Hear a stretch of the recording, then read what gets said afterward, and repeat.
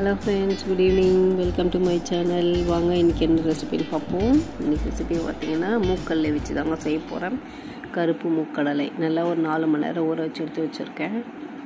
அதுக்கு தேவையான ஐட்டம்ஸ் எல்லாம் பார்த்துக்கலாம். கொஞ்சமாக வந்து சோம்பு ரெண்டு காஞ்ச மிளகா இஞ்சி பூண்டு கொஞ்சமாக மிளகு எடுத்து வச்சுருக்கேன். காரத்துக்கு மிளகு காஞ்ச மிளகா தாங்க. கொஞ்சமாக வந்து நாலு வெங்காயம் வந்து ஷார்ட் பண்ணி எடுத்து வச்சுருக்கேன். தெரிஞ்சிட்ருக்கோம் இது பார்த்திங்கன்னா வடை தாங்க செய்ய போகிறேன் மூக்கல்ல போட்டு வடை கடலப்பருப்பு உளுத்தம்பருப்பு எல்லாம் போடாமல் வெறும் மூக்கல்ல போட்டு வடை செய்ய போகிறேன் இஞ்சி பூண்டு அதெல்லாம் அரைச்சிக்கலாம் ஃபஸ்ட்டு மிளகு காஞ்ச மிளகாலாம் அரைச்சிடலாம். அதுக்கப்புறமா வந்து கொஞ்சமாக மூக்கல்லே போடலாம். எப்பவும் கடலப்பருப்பு உளுத்தம்பருப்புலேயே செய்யல வேண்டாம் இது டிஃப்ரெண்ட்டாக செய்யலான்ட்டு செஞ்சுருக்கேன். அதுலேயே கொஞ்சமாக உப்பு போட்டு நைஸாக அரைச்சிக்க வேண்டியது தாங்க இது ரெண்டாவது இடம் மூக்கல்ல போட்டு கொஞ்சமாக உப்பு ஆட் பண்ணிக்கிறேன் நான்.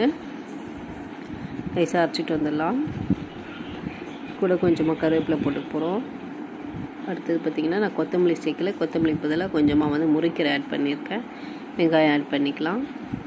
அவ்வளோதாங்க அப்படியே பிசைய வேண்டியதாங்க பிசைஞ்சு எண்ணெயில் போட்டு எடுத்தாக்கா மூக்களை விட சூப்பராக ரெடி ஆகிடும் நல்லாவே இருக்கும். ட்ரை பண்ணுங்கள் மூக்கல்ல வந்து உடம்புக்கும் நல்லது. மூக்கல்ல குழம்பு வச்சு சாப்பிட்டு குழம்பு வைக்கலாம். இந்த மாதிரி உடையாகவும் ட்ரை பண்ணி பாருங்கள் நல்லாயிருக்கும் நாங்கள் சூப்பராக ஃபுல்லாக சிம்மில் அதாவது எண்ணெய் நல்லா காயிட்டோன்னு இது மீடியம் தீயில் வச்சு செய்யுங்க. ரொம்ப ஹையில் வச்சா டக்குன்னு வெளியே தீஞ்சிடும். பாருங்கள் சூப்பராக முறுமுறுன்னு நல்லாவே கிறிஸ்பியாகவே இருக்குது சூப்பராக இருக்குது பாருங்கள் வடை. டேஸ்ட்டாகவும் இருக்கும். நீங்களும் ட்ரை பண்ணுங்கள் ட்ரை பண்ணிவிட்டு எப்படி இருக்குன்னு கமெண்ட் பண்ணுங்கள் ஃப்ரெண்ட்ஸ் வீடியோ பிடிச்சிருந்தா லைக் பண்ணுங்கள் கமெண்ட் பண்ணுங்கள் மறக்காமல் சப்ஸ்கிரைப் பண்ணுங்கள் ஃப்ரெண்ட்ஸ் தேங்க்யூ பாய்